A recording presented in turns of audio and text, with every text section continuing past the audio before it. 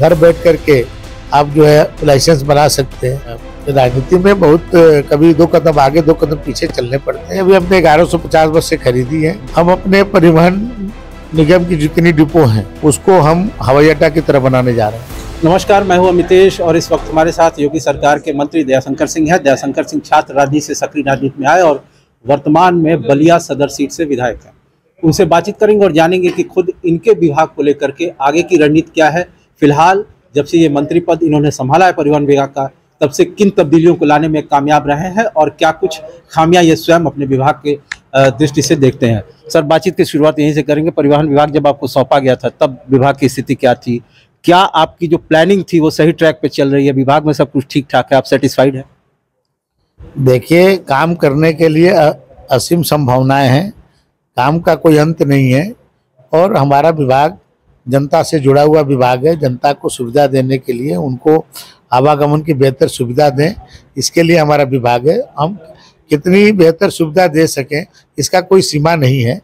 और मैं बेहतर से बेहतर सुविधा देना, समय पर बसें चलें, समय से पहुँचें, लोगों को आरामदायक व्यवस्था रहे रास्ते में उनके लिए जो अच्छे जगहों पर जहाँ हमारी प्लाजा हो, वहाँ रुके तो वहाँ अच्छे शौचालय हो, बैठने की अच्छी व्यवस्था हो खान पान की अच्छी व्यवस्था हो, ये बहुत सारी व्यवस्थाएँ हैं तो उसमें जितने हम अच्छा कर सकते हैं, उसके लिए हम प्रयास कर रहे हैं, और हमने बहुत सारे चेंजेज लाए हैं। हमने जो है, अपने परिवहन विभाग में ड्राइविंग लाइसेंस बनाना एक बहुत बड़ी एक जटिल समस्या थी, हमने उसको ऑनलाइन कर दिया है। आज जो है घर बैठ करके आप जो है लाइसेंस बना सकते हैं। शत प्रतिशत हमने जो है अपने लर्निंग लाइसेंस को जो है ऑनलाइन कर दिया। और परमानेंट लाइसेंस के लिए भी हम जो है ऑटोमेटिक सोमुलेटर लगा रहे हैं हर जनपदों में। सोलह जगहों पर लगा चुके हैं। अब जो है हर व्यक्ति को उससे गुजरना पड़ेगा। और वो सेंसर से वो जो है ऑब्ज़र्व करता है। तो आप यदि सही दक्ष चालक हैं तो आप पास हो जाएँगे। और यदि आपकी कहीं त्रुटि है तो कंप्यूटर ही बता देगा कि आपको यहाँ यहाँ पर आप जो है, आप गलत है। तो उस स्थिति में आपका लाइसेंस नहीं बन सकता है। तो आ, अब किसी को कोई न बनवा सकता है और न किसी को कोई जो है रोक सकता है। तो ऐसी व्यवस्था हम जो है डेवलप कर रहे हैं। हम ऑनलाइन परमिट की व्यवस्था कर दिए हैं। कि छुट्टी हो रात हो दोपहर हो जब चाहिए तब हमारे पास मैंने परमिट ले सकते हैं। ये तो आपने अपने अपने अपने कार्यकाल के जो गुड वर्क है उनकी बात की। आप ऑफ़िस से भी बाहर निकल रहे हैं रैंडम चेकिंग कर रहे हैं रेड्स कर रहे हैं। जो एक आरटीओ ऑफ़िस के इर्द गिर्द एक जो पारंपरिक छवि बनी हुई है करप्शन की उसको तोड़ना कितना मुश्किल साबित हो रहा है या अब तक कितने कामयाब हुए हैं? आरटीओ को आप करप्शन फ्री बनाने में। इसीलिए तो बोल रहा हूँ आपसे अब हमारे दफ्तर में कोई आएगा ही नहीं तो भ्रष्टाचार कहाँ से होगा? आप जो है अपने घर से ही सब काम कर लेंगे तो मेरे दफ्तर में आने की आपको ज़रूरत ही नहीं।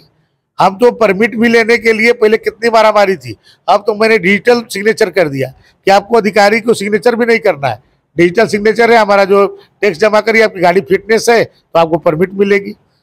और हम जो है टिकट भी ऑनलाइन कर रहे हैं।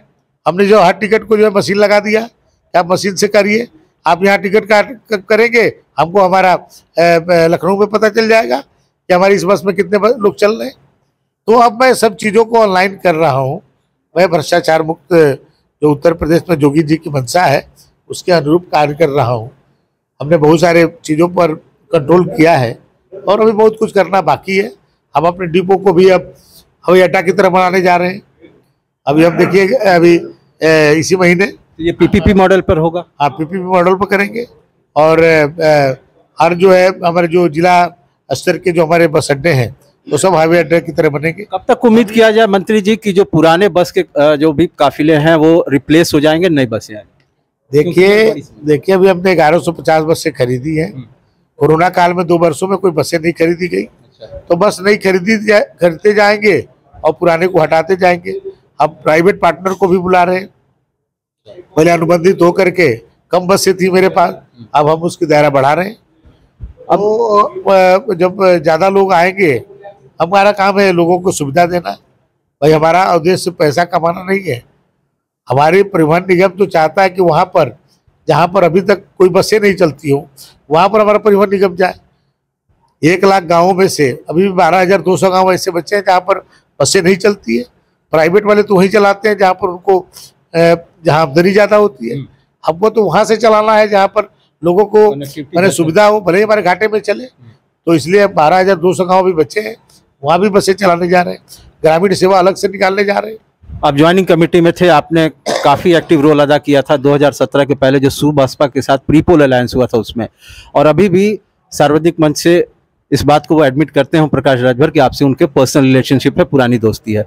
क्या आप मानते हैं जिस तरह के उनके घड़ी घड़ी बयान बदलते रहते हैं कि वो एक रिलायबल पॉलिटिकल पार्टनर हो सकते हैं बीजेपी के? देखिए राजनीति में अ, कोई चीज़ अस्थायी नहीं है। समय और परिस्थितियों के अनुसार निर्णय होते हैं और राजनीति में बहुत कभी दो कदम आगे दो कदम पीछे चलने पड़ते हैं। तो अ, समय के साथ निर्णय होंगे। क्या आसार लग रहा है? क्योंकि आप लोग तो इस बात को लेकर बड़े आश्वस्त थे कि विधानसभा चुनाव के पहले वो आपके साथ रहेंगे लेकिन उन्होंने कुछ और सियासी समीकरण का चुनाव किया। भविष्य में क्या लगता है कि वो अस्थायी रूप से आपके साथ बने रहेंगे? देखिए, वो जहाँ पर गए, वो जो है बेमेल गठबंधन था, बहुत दिन तक नहीं टिक पाया। लेकिन भाजपा के साथ उनका सैद्धांतिक रूप से समंजस्यता है, क्योंकि जो बातें वो करते हैं दलितों को, वंचितों को, गरीबों के लिए, वो काम मोदी जी और जोगी जी करते हैं। आखिरी सवाल, जिस तरीके से ज़ीरो टॉलरेंस क्राइम को लेकर के स्टेट गवर्नमेंट क्लेम कर रही है, अभी पिछले दिनों मुख्तार अंसारी के बेटे पर ईडी ने एक्शन लिया, उनके रिलेटिव्स पर भी ईडी ने एक्शन लिया। उनके बड़े भाई हैं गाजीपुर के सांसद, उन्होंने कहा है कि ये एक खास मंतव्य से इस तरह के एक्शन लिए जा रहे हैं, ताकि बेरोजगारी, गरीबी जैसे मुद्दों से आम आदमी का ध्यान भटकाया जा सके। कैसे देखते हैं आप उनके बयान? देखिए, भाजपा में किसी व्यक्ति या व्यक्ति विशेष या क्षेत्र विशेष, जाति विशेष के लेकर के निर्णय नहीं होते हैं। मोदी जी की और जोगी जी की जो योजनाएँ हैं, क्या किसी की जाति पूछ करके मज़हब पूछ करके दी जा रही है? सभी लोग उसका लाभ ले रहे हैं। उसी तरह उत्तर प्रदेश में कानून का राज है। कानून का उल्लंघन जो भी करेगा, चाहे वो कितना भी ताकतवर क्यों ना हो, उस पर सब पर जो है कानून लागू हो। अंतिम सवाल, आपके विभाग को लेकर के ही बातचीत को यहाँ हम खत्म करेंगे। ऐसी वो कौन सी महत्वाकांक्षी योजना है आपके खुद के विभाग की, जो मंत्री होने के बाद आपने प्लान की है और आने वाले दिनों में एक बड़े प्रोजेक्ट के तौर पर परिवहन विभाग में देखने को मिलेगा।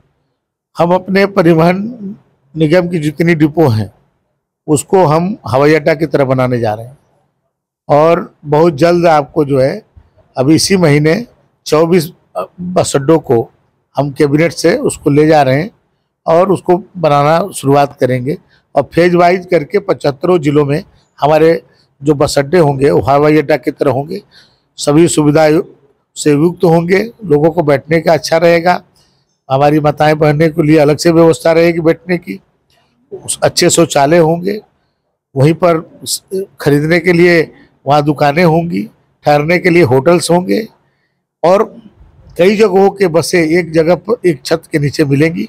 ऐसे बहुत सारी चेंजेज हम करने जा रहे हैं। बातचीत के लिए बहुत बहुत तो ये थे योगी सरकार के परिवहन मंत्री दयाशंकर सिंह, जिनसे हमने बातचीत की और जिन्होंने बताया कि आने वाले दिनों में रोडवेज़ की यात्रा आपके लिए थकाऊ नहीं होने वाली है, बोरिंग नहीं होने वाली है, बल्कि एयरपोर्ट की तर्ज पर यूपी रोडवेज़ के बस स्टैंड का भी अपग्रेडेशन किया जाएगा, पैसेंजर एम्यूनिटीज जो है उसमें इजाफा किया जाएगा। मितेश कुमार सिंह, गाजीपुर।